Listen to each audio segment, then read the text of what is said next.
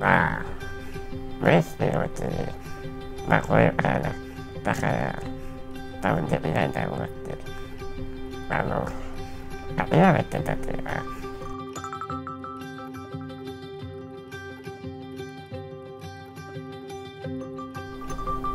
迷惑ばっかりかけて人のために何もできていないなっていう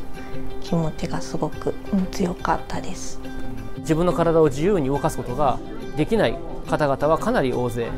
いるし我々とてね高齢になってくれば立つことも難しくなるかもしれないし歩くこともできなくなるかもしれない。社会の荷物になってるかも。あるいはもう家族とかが自分の介護とかで苦しんでしまうかもしれないというふうに思うと本当に辛くなってしまう。それをどうやったら解消できるかってことに我々はね人生を使いたいと思ってるしそれが我々の役目であると。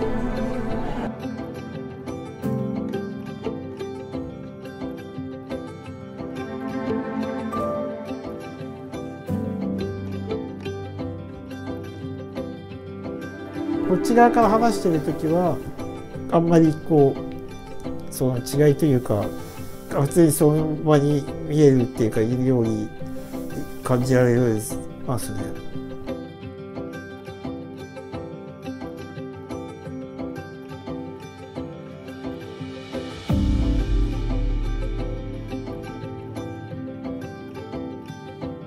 私は所沢から来ました。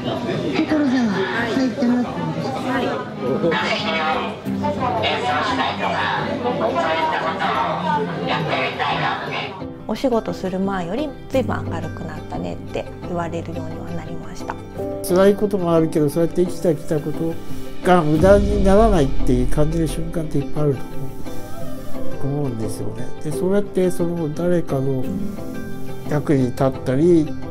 まあ、必要にされたりすごく楽しいですね。寝たきりの先はあると思ってますね諦めてしまうとね本当に何もできなくなってしまうかもしれないけれども